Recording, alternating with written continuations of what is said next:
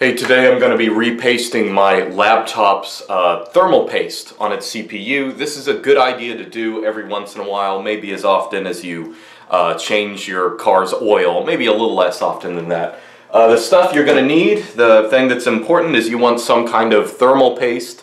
This is what I have. It's uh, Arctic MX2. I got this thing for like $5 years ago, uh, and it's still running for me. There's still plenty in it. Um, you'll also want some kind of rubbing alcohol. I actually have this green version with uh, wintergreen and glycerin. You, you don't need anything like that. You just need rubbing alcohol and something to rub stuff with. You'll also need, of course, uh, little Phillips head screwdrivers. So let's go ahead and do this. So whenever you open any computer, the most important thing is you want to get rid of the battery first. Um, so I'm going to unlatch this. It has two little latches here. Now if you saw the video I put up a couple days ago on um, uh, installing an mSATA drive, that process is going to be pretty similar. There we removed, we had to remove the uh, keyboard and the, the sort of palm rest. Um, in this video, however, we're going to be removing a little bit more. I want to be clear. So on a ThinkPad, you have um, you have these little symbols, this little keyboard, and this little palm rest. You want to unscrew all of those, but you're all, we're also going to be unscrewing some other ones, like uh, ones that are just unmarked. And that's because in order to get to the CPU, we're actually going to have to entirely remove the motherboard and flip it over. Um, we'll see what that looks like.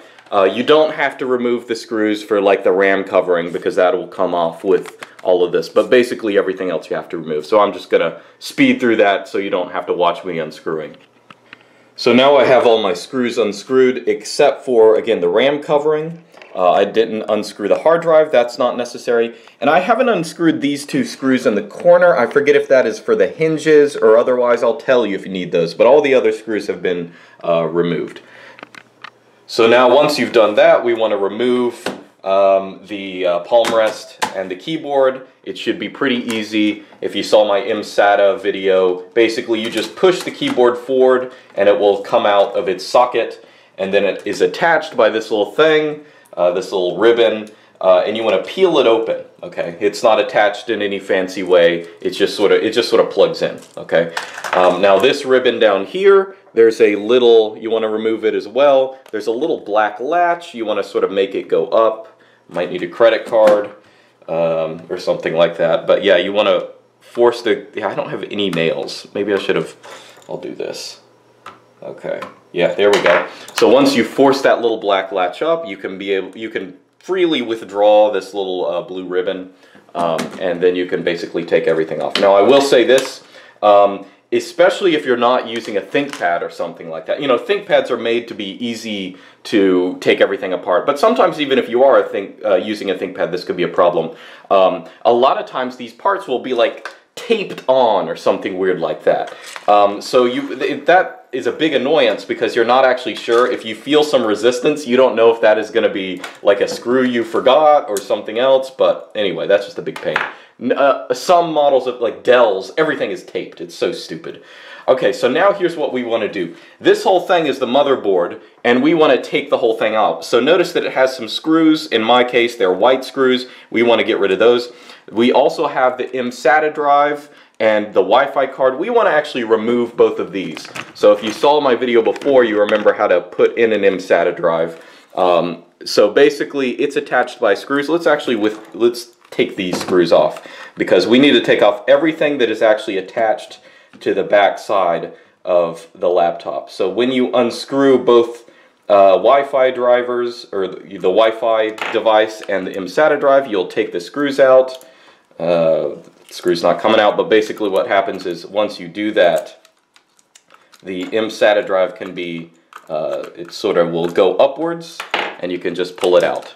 And the Wi-Fi device is the same way. Notice that it's connected by these two cords that you want to gently pull off.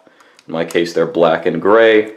Um, and then there are red and I have red and uh, uh, blue cables. I forget what these are. I think they were originally attached. Like if you have a 3G device for your mSATA slot, you know, you can remove them there. So I'm going to remove the, all the screws that I see here, uh, and I'll speed through that so you don't have to see it.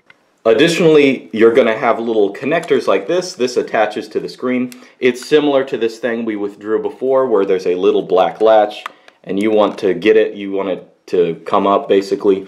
And then once you do that, well, this one's like really deep in there, but you can uh, sort of pry it um, out. Okay, it's going to work, I swear. I think it is. It's really just hard to do with the camera in your face. Okay, yeah, there it comes. Um, and you again, you just want to take out every little thing. I already sort of undid these screws. You want to take out everything that connects it to the uh, to the actual, you know, the, the back lid. Um, I'm going to have trouble with this. I, this screw is a little stripped before I came here, so I'm going to have to work on that.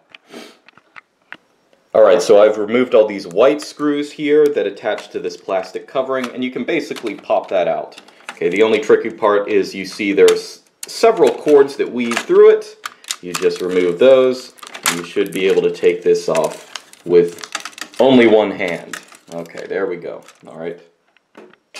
Yet another little connector here. I'm gonna just, again, peel the little black latch up. I'll probably do it with this metal instrument that is probably not ideal. You know, a lot of people will be like, you should use credit cards for this. Actually, no, I think I have a card here. Yeah, we'll do that. Okay, so um, it's my old student ID card. There we go. So that came up. Now we should just be able to pull this thing up. So hard to do things with one hand. All right, there we go. Now, this stripped screw on the Wi-Fi adapter I thought was going to ruin my day, but I ended up finding out I could just take these pliers and just sort of move it around slowly. I can't get any screwdriver into it, so this is going to be what I'm doing, but it is actually coming out, thankfully. Now, I know I said earlier you don't have to remove the hard drive, and technically that is true. Um, I am going to go back here and unscrew this thing so I can take the hard drive out. And that's just because when I pull the motherboard out, it's going to be attached to the hard drive and I'll have to wiggle it a little bit more. So I'll actually remove this as well just to be a little safe. So on ThinkPads, you just have literally one screw. You unscrew that um, on this little case thing and you can pull them off and then you can basically just pull the hard drive out. It's nice and simple course, to remove the hard drive, obviously you don't have to take anything else out. You don't have to open anything. It's the easiest thing to take out, which is very nice about ThinkPads.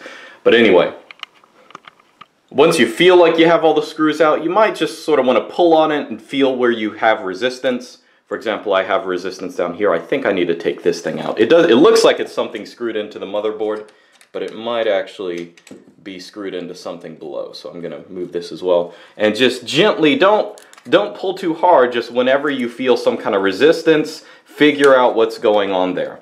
Um, and let's see. Okay, so this thing comes off. Uh, it's not part of the motherboard, but you have to remove it to remove the motherboard. Let's see if we have any resistance over here. Uh, now, a lot of it is just going to be ports that are plugged in. Notice this thing right here. This looks like it's either plugged in. Yeah, so it's plugged into something on the motherboard. So if you want to remove little plugins like this. You just sort of put some force on them, pull them upwards. Don't do anything fancy, just pull them up. Actually, it looks like, oh uh, yeah, they usually have little handles on the side so you can get a grip. But man, is it, it's hard for me to do that. I'm going to just be really careful. I'm not going to put too much force on this. Just sort of wiggle it out. Don't want to don't want to force anything here.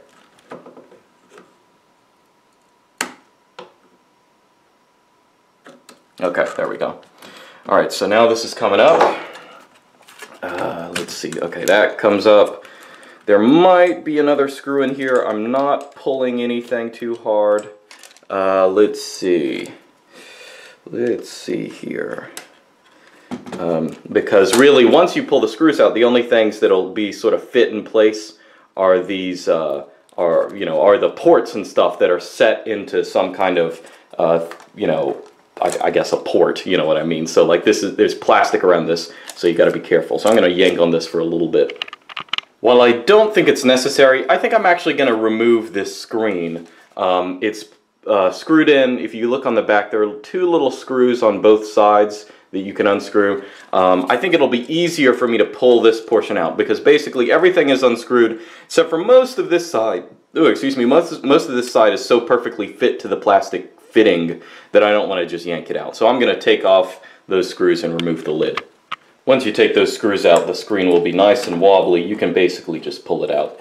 Be careful with the cords around here. Um, obviously, they might still be in some kind of plastic thing. You don't want to yank this out. Okay, so now that that is out of the way, let's see where the resistance is actually coming from.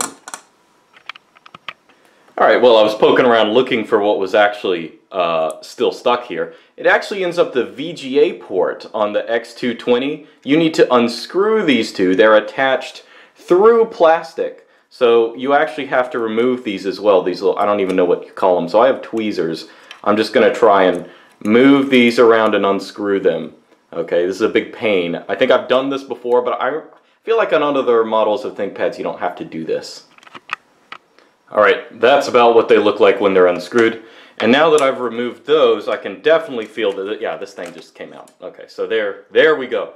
Now, let's actually flip it over and on the back, let's let's explain what this stuff is, just in case you don't know. Okay, basically the CPU is down there. Now these, this is RAM. Now the RAM you actually don't need to open up to change. You can actually just screw, unscrew the thing on the back to get to it. But your CPU is here. This little copper thing, I assume it's copper. It feels like copper, looks like copper.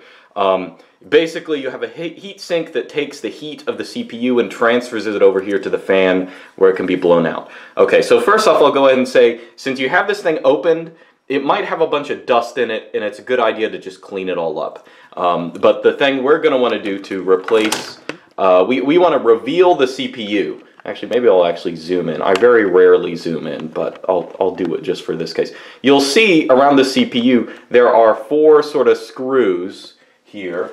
And uh, as you may guess, what we're going to do with those screws is we're going to unscrew them. Okay, So I'm going to unscrew this. I think I think the proper technique they say is to unscrew them gradually, like unscrew one, then unscrew the other a little bit, and then unscrew another a little bit. I, I don't think I, that might just be a meme. I don't know. So I'm just gonna unscrew that, unscrew that. Um, I don't think these screws actually cut. Well, we'll see.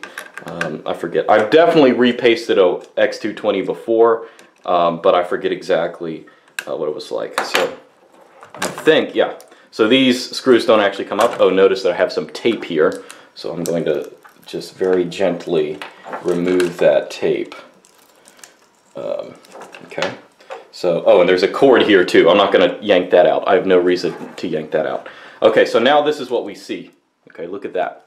So there's your, basically your CPU, um, and it has all this nasty stuff here, this kind of crusty stuff. That is the old thermal paste, and we are going to want to remove that. In order to remove that, what you want to do is you want to get your alcohol. Okay, so I have my rubbing alcohol. Uh, in fact, with all this, you know, glycerin and antiseptic, it's going to smell good, guys. Hopefully that doesn't make a difference, but I'm going to go ahead and put my little Q-tip, my ear swab into that. Um, and once you have some of that, you are just going to wipe down, you're going to clear off all of this junk. Okay, it's going to clean up very nicely. It doesn't look like it's going to clean up, but it's going to clean up. Okay, so I'm just going to rub this on the CPU for a little bit, just clean all the junk off, blow anything off that comes off, and uh, yeah. Alright, so now I've removed most of this paste. There's a little residue between, I don't know, these little things on the side. I don't even know what they are, but that's basically good enough. Also make sure you dry it. So I dried up any remaining uh, you know stuff with the, the your swabs. Um, and of course so make sure that oh you can see my face in the reflection there. That's really weird.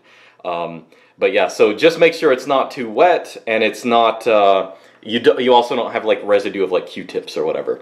Um, so also I, am pretty I'm 95% sure that's the GPU. It actually has a thermal pad kind of thing looking on it. You might be able to like put a new pad or may you could actually put new thermal paste on that. I'm not 100% sure. I'm not going to do it. I'm going to stick with what I know. And here's what I know. Okay, here's what you do. Okay, I'm going to put that here. We'll zoom in a little bit. Uh, when I found the zoom button, yeah, always the best production quality here. Um, so now you're going to take your thermal paste and you know the important there there's a lot of debate about how exactly to apply thermal paste mainly because most people are wrong about it uh, they think you're supposed to do something fancy or something like that huh yeah yeah had to pull the thing off with my teeth um, all you want to do is just put a teensy tiny little dot in the very middle that's all you want to do Come on. It's coming out. Okay. That's probably even too much. I, am not quite sure, but I, that looks like, oh, shoot. Now it's not exactly in the middle because I had to sort of move it around. Either way, it's basically going to work. Don't spread it around yourself. Don't do anything stupid. Uh, I might actually want to take a little bit of that. Well, I don't know. It'll be fine. Whatever. Um, but you want to apply, you want to put back on your heatsink um, directly over it, and it's going to squish it down, spread it around, all the stuff you need. So I am going to put this, whoop, I'm going to put this more or less directly, sorry, this cord is messing with me over here. Um, I'm going to put it basically right on top, and I'm going to screw this in. Again, I'm going to screw gradually. I'm gonna put. I'm gonna make sure that my hands are in the way so you can't literally see anything. Um, let's see. So I'm gonna screw that. Screw that. And once you have that done, basically we are finished. We're just gonna redo everything we undid. We're gonna screw everything back in. So yeah, that's yeah, that's it. As I said before, now is your chance to clean some stuff up. So if you have, you know, I have a little dust in here, so I don't know, maybe I'll just sort of clean it up with an ear swab with alcohol on it, stuff like that. Uh, just get it out. Make sure, of course, you're not just getting it wet. Make sure you're actually removing the the uh, the stuff. But yeah, base, you might want to go over most of your computer just to make sure there's not junk in it, uh, dust and things like that. That would just be a nice, since it's already open, just go ahead and do that. In the process of taking my computer apart, I actually realized there was a little part that was broken on my, uh, on, on, I guess on the case of the laptop, and that is this little thing here, um, which actually goes, so the power cord goes in here, this little thing that, uh, let's see, this little yellow thing that you plug into, um, and it's supposed to have this thing on top of it that screws in, but it looks like the whole screw had come out. I actually did not do this myself, it's just when I opened it up, it looks like, I don't know, maybe I had, you know, dropped my laptop at some point and this had broken. So I'm actually going to unscrew, I'm going to unscrew this screw from this little plastic part. See, there's a metal part that I'm holding and there's a plastic part. Um, and then I'm going to super glue it back where it belongs. Just because I want that little stability, just because why not? Got to be careful. While that super glue is drying, uh, I just want to bring your attention. So down here, this one part we didn't remove, this one mechanical part, as you may be able to guess if you look on the back side, these are actually the speakers.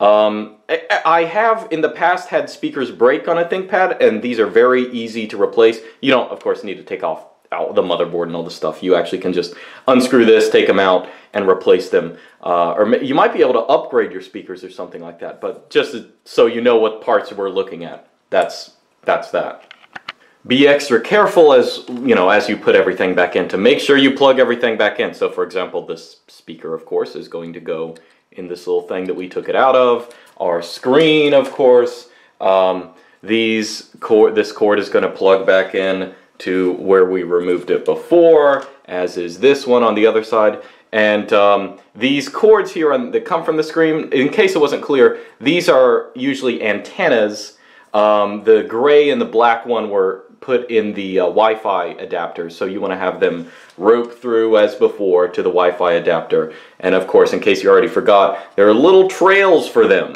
So they don't have to hit anything else. Um, uh, let's see, there's one also in this thing, right? So the, they can weave through. So just be mindful to put everything back more or less where you found it.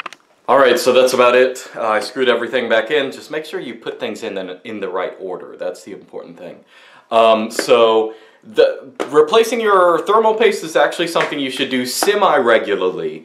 Um, I, I, think I said you should basically do it as often as uh, you change your car's oil, probably a little less. You don't really need to do, do it that much if you just have a machine you're just using. I mean, it's not like a gaming rig.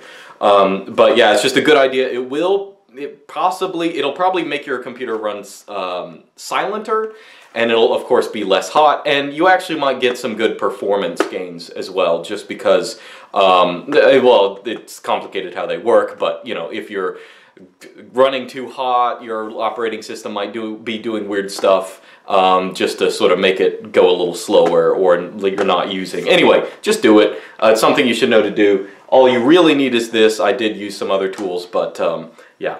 All right see you guys next time